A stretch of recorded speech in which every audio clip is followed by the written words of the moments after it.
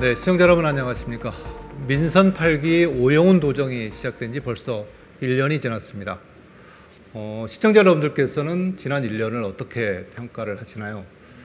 어, 저희 KCTV 제주방송은 오영훈 도지사를 직접 모셔서 이 제주가 안고 있는 지금 현안, 또 이에 대한 해법, 또 앞으로는 어떤 구상을 그리고 있는지 저희 취재 기자들이 직접 지사께 물어보고 또 지사의 견해를 듣는 그런 시간을 마련했습니다. 오영훈 지사 나와 계십니다. 안녕하십니까? 네, 안녕하십니까? 아, 시간 내서 감사합니다. 감사합니다. 네. 어, 엊그제 같은데 벌써 1년이라는 시간이 지났는데 어, 그래도 또 복귀를 해보면 음, 어, 많은 일들이 있었고 그렇죠. 또 성과도 좀 어, 있었다 생각하고요. 네. 물론 해야 될 과제는 더 많이 있지만 음. 네. 나눠서 질문할게요. 네네. 제가 1년을 돌아보면 하, 이거는 좀 1년의 성과라고 할, 하겠다. 음, 이거는 네. 참 좀 잘한 것 같다라는 건 어떤 게 있을까요? 어, 미래 먹거리와 먹거리. 관련된 어, 비전을 수립하는 일은 음. 아, 참잘 준비됐다 이렇게 생각을 합니다. 첫 번째는 어, 우선 민선 8기 공약 사항을 정책 과제화 시켜서 네. 정리를 한 게 가장 큰 성과라고 보여지고 두 번째는 어, UAM 협약을 통해서 2025년도 상용화 목표를 제시했는데 네. 어, 차곡차곡 준비가 되고 있고요.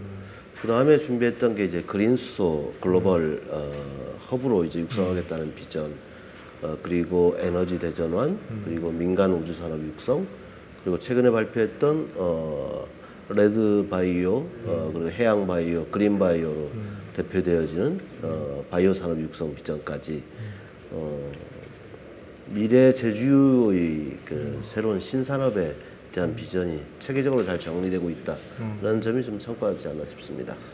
그에 덧붙여서 좀 아쉬웠던 점, 앞으로 좀 이런 걸 좀 보강해야겠다는 점은 어떤 게 있을까요? 어, 많은 분들이 어, 제주 경제에 대한 이제 어, 걱정도 많으시고 어, 그런데 가시적으로 제주도가 추진하고 있는 다양한 여러 가지 정책들이 어, 눈으로 좀 볼 수 있었으면 좋겠다라는 그렇죠. 예, 기대가 있는 것 같습니다. 어, 그 부분에 대해서는 어, 2년 차를 맞아서 어, 올해 어, 하반기부터는 그게 어, 도민들이 어, 피부로 느낄 수 있도록 또 눈으로 좀 볼 수 있도록 어, 이렇게 해야 되겠다는 생각을 좀 갖고 있습니다. 어, 그리고 또한 갈등 현안 중에 아직 해소하지 못한 부분이 이제 제공항과 관련된 그렇죠. 어, 갈등 여전히 남아 있기 때문에 그 부분을 해소하는 것 향후에 그 가장 큰 과제가 아닐까 싶습니다. 하나 덧붙여서 네. 소통은 잘 하시는 것 같아요. 네. 저희가 전임 도전과 네. 비교해서 네, 네. 조금 뭐 얘기가 엇나갈 수는 있지만 네, 네. 그래도 어, 도민들이 느끼기에 지사가 상당히 얘기를 많이 듣고 네, 네. 또그 말처리 장건인데 네, 네, 그것도 네. 해결하시는 것 같고 네, 그러니까 네. 소통은 잘 하시는 것 같아요. 음, 다른 것도 좀 얘기해 주시죠. 다른 거는 우리 취재 기자들이 오늘 아까 말씀드렸지만 오늘은 저희 보도국 회의에 예, 지사가 예. 참석하셨다 생각을 아, 하시고. 먼저 우리 정치행정 분야 맡고 있는 문수희 기자 질문부터 네. 하도록 하겠습니다. 네. 첫 질문은 지난주였죠. 취임 1주년 네, 기자회견 네. 자리에서 네, 네. 지사님께서 민선 8기 도정에 대해서 음. 키워드 두 개, 실용과 미래라는 키워드를 네, 제시하셨습니다. 네, 네. 뭐 지금 둘 다 이제 듣- 굉장히 듣기 도- 좋은 그런 아, 단어인데 지금 이 제주도의 상황에서 음. 굳이 이 두 가지 키워드를 제시한 이유가 있으실 것 같은데 좀 말씀 부탁드립니다. 이 실용이라는 것은 어, 사람한테 이루을 수 있는 어, 즉각적인 효과가 날 수 있도록 일을 해야 된다라는 측면에서 말씀을 드린 거고 어, 제가 어, 취임 당시에 제시했던 키워드도 어, 실용적 실천주의라는 표현을 썼었습니다. 어, 당장 어, 제주도민들의 삶에 영향을 미칠 수 있는 것, 또 그리고 어, 삶의 여건을 개선할 수 있는 것, 당장 도움이 되는 것, 어, 또 가려운 데를 긁어줄 수 있는 이런 게 저는 실용적 접근이라고 좀 생각이 들고 어, 그리고 어떠한 그 판단을 내릴 때 어, 이게 당장 도민에게 어떠한 도움이 되는지 어떠한 여건의 개선이 되는지를 어, 기준으로 삼기 때문에 저는 실용주의가 대단히 중요하다는 점 말씀드리고 싶고 두 번째 미래라는 것은 어, 인간이 살아가면서 희망을 가질 수 있어야 되는데 그 희망을 갖도록 하는데 저희 도정이 어떤 역할을 해왔고 어, 어떠한 또 희망을 제시해 왔는지가 대단히 중요하다라고 어, 생각을 합니다. 어, 지금은 힘들지만 그래도 좀 더 견디면 좋아질 것이라는 희망이 있어야 현재의 상황을 견딜 수 있는 것이거든요. 그래서 미래는 어, 희망으로 가득 차 있어야 된다고 생각을 합니다. 그런 점에 있어서 미래가 대단히 중요한 화두가 되어야 되는 것이고 어, 미래를 준비하고 있다라는 확신을 어, 도민들께 드리는 것이 그렇죠. 중요할 것 같습니다. 그리고 어, 미래에 어, 내가 먹고 사는 문제도 개선될 수 있겠구나, 나아질 수 있겠구나는 어, 확신을 갖게 하는 것, 어, 그래 대단히 중요한 것 같습니다. 오케이. 이어서 가장 묻고 싶은 질문 하셔야죠. 네. 사실 네. 앞선 질문은 좀 쿠션용이었고 본격적인 질문 드리겠습니다. 네, 네. 지금 도내 제주의 가장 큰 현안하면 네. 제2공항이지 않습니까? 네네. 지사님 어디 가나 이, 이 공항에 대한 질문은 굉장히 많이 음, 들으실 것 네, 같은데 네, 네. 사실 일주일 전에 기자회견에서 저희 기자들은 네. 내심 아 이 자리에서 지사님이 음. 제2공항에 대한 어떤 입장을 밝히실 것 같다, 밝힐 음, 거다라는 음. 그런 기대가 음, 있었는데 음. 사실 명확한 입장은 내지 않으셨어요. 근데 뭐 물론 이 지사님의 결정이 어려운 결정이고 심사숙고해야 하는 건 알지만 이제 국토부의 제주도의 입장이 전달할 시점이 굉장히 임박한 만큼 이 자리에서 조금 더 명확하고 이 제주도가 정리하고 있는 그 입장을 좀 말씀해 주신다면 듣고 싶습니다. 글쎄 저는 뭐 분명한 입장을 말씀드렸다고 생각을 하는데 어, 또 듣는 분들의 입장에서는 그게 명확하지 않다라고 볼 수 있는 건 저는 관점의 차이가 있다라고 생각을 합니다. 어, 제가 원칙과 기준을 말씀드렸던 것은 첫 번째는 어, 도민들 사이의 갈등이 해소되는 방향으로 어, 정책이 결정되어 나가야 한다는 생각이고 어, 두 번째는 도민들에게 이익이 되는 방향으로 결정이 되어야 한다는 것입니다. 이게 지켜지는 방식으로 어떻게 어, 상황을 만들어갈 것인지에 대한 판단이 필요한 것이고, 근데 그 판단을 해나감에 있어서 고려해야 될 것은 어, 공직자이기 때문에 대한민국의 법률과 그리고 어, 조례에 의해서 제도적 그 여건에 의해서 어, 제대로 부합되게 어, 진행해 나가는 거라고 생각합니다. 어, 그런 점에서 보면 이미 국토교통부는 어, 고시를 이루게 한전 단계를 지금 다 밟고 있는 겁니다. 물론 어, 전략 환경 영향 평가가 좀 제대로 이루어져서 어, 여러 가지 걱정이나 우려가 해소가 되고 진행됐으면 더 좋았겠습니다만은 어, 어쨌든 그런 부족함이 있어도 법적인 절차를 진행하고 있는 겁니다. 그러면 향후에 법적인 절차를 진행하는 과정에서 어, 우려나 걱정 이런 부분들을 어떻게 해소할 것인지 명확하게 해소가 되어지면 그 다음 단계로 프로세스를 진행할 수 있을 거라고 저는 생각합니다. 어, 그런 과정 자체 전반이 어, 제2공항에 대한 갈등 해소의 해법이라고 저는 생각을 합니다. 그리고 의견 제시라는 어, 과정이 남아 있는데 예전에 우리는 이미 의견 제시를 했었습니다. 저지도 지난 그렇죠. 도정에서 어, 지난 도정에서. 예, 찬성이라는 의견을 제시를 했는데 음, 어, 그게 결과적으로 갈등 해소에 도움이 됐는지에 음. 대해서 저는 들여다볼 필요가 있다라고 생각하고요. 어, 그래서 어, 의견의 방식을 어떻게 할 것인지 조금 더 고민스러운 점이 있다는 점을 말씀을 드린 거고 어, 빠른 시일 내에 뭐 마무리가 되지 않을까 싶습니다.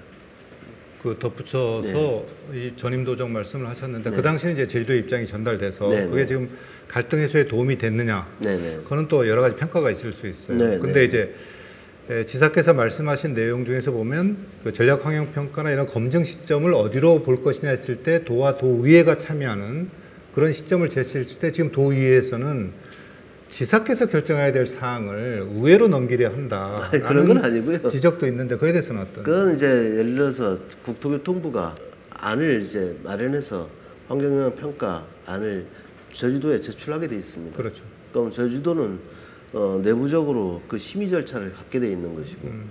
그럼 그 과정에서 검증해야 될 것, 그리고 도민들께서 우려하는 바, 걱정하는 바 음. 해소된 상태에서 음. 저는 의회로 제출돼야 된다고 생각, 생각을 합니다. 음. 어, 그런 과정에서 좀 충분히 협의가 가능하다라고 보고, 그 도에서 입장을 정리하고 우회로 넘기겠다. 예, 그러, 그게 가장 어, 올바른 방법이 아닐까 싶습니다. 이어서 우리 경제 분야 우리 김지우 기자. 네. 그 지사께서는 2027년까지 공공주택 7,000호를 공급하겠다고 네, 밝히셨는데요. 네, 네, 네. 지금 도내 아파트 분양가가 이제 서울 다음으로 높아가지고 그 공공주택 공급에 대한 이제 기대감이 큰 게 사실입니다. 근데 한편에서는 네. 미분양 주택이 역대 최고치를 기록하고 있어서 이 과잉 공급을 심화시켜 민간 주택 시장을 더욱 위축시킬 수도 있다는 우려도 있는데요. 어, 이, 저는 전혀 다르게 생각합니다. 이 부분에 대해서 네. 어떻게 생각하고 계신지 설명 부탁드리겠습니다. 우선 공공주택의 비중이 저 전국적으로 볼 때 전국 평균 8% 정도 차지할 겁니다. 근데 우리는 6%가 채 안 되는 상황이죠. 그 부족합니다. 가장 부족한 지역이 제주도라고 봐야죠. 그러면 전체적으로 어, 내 집 마련하기가 가장 어려운 구조가 제주라는 상황이 있기 때문에 저는 공공주택 7천호가 어, 과도한 계획이라고 생각하지 않습니다. 우리가 반드시 전국 평균 이상으로 어, 높여나가는 그 주택 정책이 저는 필요하다고 보여지고요. 미분양 주택과 관련해서 말씀을 주셨는데 실제 어느 지역에서 미분양이 일어나고 있는지 자세히 들여다볼 필요가 있습니다. 그리고 어, 어떤 분양가를 지금 어, 가지고 미분양이 일어나고 있는지 어, 대단히 고가의 미분양 주택들입니다. 예를 들면 영구육도시 인근 지역에서 어, 하고 있는 사업의 일부 미분양이 있습니다. 그렇죠. 그것은 저희 도민들의 실수와는 관련이 없는 미분양으로 저는 판단하고 있습니다. 그래서 아직 그 미분양 주택 문제에 대해서 그렇게 걱정할 상황은 아니라고 보여집니다. 어, 공공주택 그 7천호 사업은 저는 더 적극적으로 추진해야 될 것이라 생각합니다. 네. 그럼 이어서 네. 질문 드리겠습니다. 이번 질문은 탐나는 전 관련된 질문인데요. 네네네. 지금 최근 탐나는 전 가맹을 취소하는 사례가 좀 확인이 되고 있는데요. 이게 네. 할인 혜택이 중단됐다 재개됐다 반복하면서 이제 가맹점은 물론 좀 고객도 혼란이 가중되면서 그런 취소 이유를 밝히는 분들이 계신데 좀 이처럼 이제 내년에는 이제 국비마저 끊긴다는 소식도 있는데 이, 지, 이 탐나는 전이 예산에 따라서 일관성 없이 운영되면서 지역 화폐 도입 취지가 좀 흔들리고 있다는 시선이 있는데 이에 대한 생각을 듣고 싶습니다. 저희도의 방침은 확고하고요. 탐나는 전 확대돼야 하고 어, 그게 지역 경제에 미치는 영향이 상당히 어, 긍정적인 효과가 나타나는 것은 이미 확인이 되고 있습니다. 어, 일부 결제 시스템 과정에서 이제 운영의 어떤 어, 문제를 제기하고 있는 가맹점이 있다는 얘기는 들었습니다만은 그게 전체 4만여 곳이 됩니다. 가맹점이. 어, 4만여 곳에 영향을 미칠 정도는 아니라고 보여지고 앞으로 저는 좀 더 확대될 거라고 생각을 합니다. 어, 재정적으로 봤을 때 국가 정책이 이미 2023년도 예산 편성 과정에서도 어, 정부에서는 어, 어, 지역화폐에 대해서 상당히 어, 부정적으로 봤었습니다만은 국회 심의 과정에서 이게 어, 반영이 다 됐습니다. 어, 저희로서는 상당히 다행스러운 거였죠.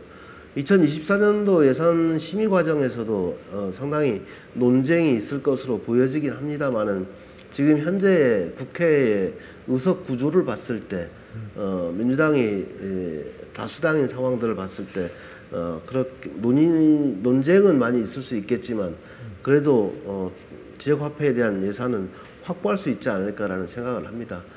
어, 물론 중앙 정부가 약간의 미온적인 판단에 차이가 있긴 합니다만은 저희 지방 정부 입장에서는 어, 계속 확대를 해야 됩니다. 예를 들면 어, 이번에 그 아동 청소년 체육 활동비 같은 경우에도 제가 이제 10세까지 확대해서 어, 월 5만 원씩 그 지급을 하겠다라고 얘기를 했는데 이것도 저는 탐나는 전으로 어, 지급을 해야 된다고 생각을 합니다. 그래야 지역 경제 파급 효과가 대단히 커지게 될 것이다라고 생각하시고 어, 청년 이어드림 같은 경우에도 마찬가지로 어, 탐나는 전으로 어, 할 수 있도록 즉 도에서 어, 제공하는 각종 수당은 어, 탐나는 전으로 지급하는 그런 확대 정책이 계속돼야 한다 이렇게 생각을 합니다. 그 탐나는 전은 네. 결국 확대되는 거네요. 네, 저는 확대돼요. 알겠습니다. 이게 지금 그 최근에 재미있는 통계도 나왔는데 어, 고향사랑 기부제가 이제 도입이 돼서 어, 그 답례품을 우리가 주고 있는데 1위는 이제 보통 감귤이 되고 2위는 뭐 수산물, 3위가 탐나는 전입니다. 어, 즉 30대가 가장 많이 기부를 해주고 있는데 예. 이분들이 탐나는 전을 답례품으로 정했다는 것은 예. 제주에 와서 쓰겠다라는 음. 어, 이런 흐름이 형성되고 있다는 것은 저희 어, 저희도 입장에서는 대단히 고무적인 것이죠. 시청자 여러분들이 아마 김지우 기자 질문을 보고 안심을 할 것 같아요. 네, 네. 이어서 최근에 가장 이 핫 이슈가 되고 있습니다. 교육 분야인데 그렇다고 우리가 여기서 수능을 얘기를 할 수는 없고 예. 네. 이정훈 기자. 네, 어, 저는 이제 갈수록 그 열악해지는 그 재정 상황을 감안해서 전국적으로 자치단체들이 그 교육 전출금 부분에 예. 대한 축소 움직임을 보이고 있습니다. 네네. 아, 최근 제주 도의에서도 일부 이 같은 시각이나 목소리가 나오고 있는데요. 네네. 이에 대한 지사께서는 어떤 생각을 갖고 계신지요? 어, 중앙정부 차원에서 이제 다양한 논의가 이루어지고 있는 것으로 알고 있고 어, 또 일부 지자체장들 이렇게 우리가 어, 시도지사 협의회를 운영하는데 어, 재정 여건이 어려운 지자체일수록 교육 전 출금에 대해서 줄여야 한다라는 주장을 하시는 분들이 많습니다.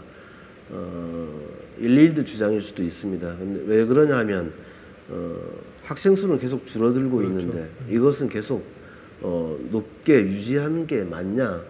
어, 재정이 한정돼 있는 것인데 그 한정돼 있는 재정을 어, 국민들에게 효과적으로 쓰일 수 있도록 하는 게 맞다라는 주장이 있지만 또 교육 당국의 입장에서는 또 다른 논리를 이야기하게 될 것입니다. 어, 이와 관련해서는 국회 심의 과정 즉 어, 법률 개정안이 어, 두 건 이상 올라가 있는 것으로 알고 있습니다. 어, 그 개정안이 어떻게 처리되는지에 따라서 어, 방향을 바꿀 수 있는 것이기 때문에 우리가 저희 도의 입장에서 독자적으로 이 문제에 대해서 어, 줄여야 한다, 유지해야 한다 이렇게 판단하기는 어렵습니다. 어, 국회 시- 어, 논의 과정을 지켜보고 어, 법률 개정 절차에 따라서 어, 대응할 수 있어야 한다고 생각합니다. 이렇게 덧붙여서 이 교육과 문화에 대한 부분을 네. 재정 투자, 재정 투입에 대한 부분을 지나치게 경제적 시각으로 재단하는 네. 거는 약간 경계할 필요는 있는 것 같아요. 네. 그래서 뭐 저는 그 제주 특별자치도 교육청하고 어, 제주 특별자치도 간에 어, 역대급 그 협력 관계를 잘 유지하고 잘 있다고. 생각을 네. 합니다. 네. 취임하자마자 어, 우리 학교 급식 문제에 대해서도 전향적으로 어, 전국 평균 이상의 수준을 우리 아이들에게 제공할 수 있도록 어, 장기적으로는 전국 최고 수준의 급식의 질을 확보하기 위해서 어, 양 기관이 협력하고 있다는 점 말씀드리고 어, 모든 부분에 있어서 협력이 좀 잘 진행되고 있어서 우리 아이들과 관련된 문제에 대해서는 예산을 줄이거나 하는 일이 없도록 더 각별히 예. 신경을 쓰겠습니다. 네, 한 가지만 더 네, 여쭤보겠습니다. 아, 요즘 수영 즐기시는 생활 체육인들 아, 참 네, 많으신데요. 네, 네. 아, 제주 지역은 공공 수영장이 조금 부족한 편입니다. 네, 이 때문에 도의회 차원에서 네. 그 학교 수영장을 도민들에게 개방하자는 방안이 추진되고 있습니다. 네, 네. 아, 주민들 입장에서야 반가운 소식이지만 네, 네. 안전사고나 그 시설 관리를 위해서는 인력 배치 등의 풀어야 할 과제들이 좀 있는데요. 네. 그 교육 당국은 이런 생각인 것 같습니다. 학생이 아닌 주민들을 위한 개방 관리 비용까지 좀 음. 부담을 떠안는 건 좀 불합리하다 이런 입장인 것 같은데 이에 대한 지사님은 어떤 생각 갖고 계신지요? 저지도내에 있는 공공시설을 도민이 함께 이용하는 것은 저는 맞다라고 보여집니다. 어, 더 확대돼야 한다고 생각하고요. 어, 수영장도 예외가 돼서는 안 된다고 생각을 합니다. 어, 다만 시설 관리비와 관련돼서는 어, 관련 조례를 한 번 더 살펴보겠습니다. 일정 정도 도에서 부담을 어, 도민들이 사용하는 거라면 일정 정도 부담은 불가피하지 않을까 생각합니다. 제가 네. 추가적으로 네, 어, 우리 기자들 질문 중에 네, 하나 좀 덧붙여서 네네. 질문을 한다면 이 학교 시설이나 이런 거에 대해서 네. 개방을 하고 지역 주민들과 같이 하는 거에. 대해서 좀 좀 더 전향적으로 했으면 좋겠어요. 조금 아, 더. 네. 이걸 지나치게 이 음. 어떤 재정 문제라든지 이런 걸 보는 것도 네. 중요하지만 그래도 이제 주민들이 쉽게 생활체육과 이런 걸 할 수 있는 공간들이 결국은 공공시설이거든요. 맞습니다. 그래서 네. 지사님께서도 아주 적극적인 의지를 갖고 계신 것 같아서 네. 네. 특히 뭐 또 15분 도시 조성과도 이제 이렇게 음. 다 어, 맥락이 다 있는 것이기 때문에 어, 특히 수영장이 없는 어, 읍면 지역 같은 경우에 저는 수영장 시설 확충해야 한다고 생각하고요. 어, 그게 이제 도 교육청하고 어, 협조 체계를 좀 잘 구축하면서 어, 시설 이용의 편의를 증진하기 위해서 좀 더 노력하겠습니다.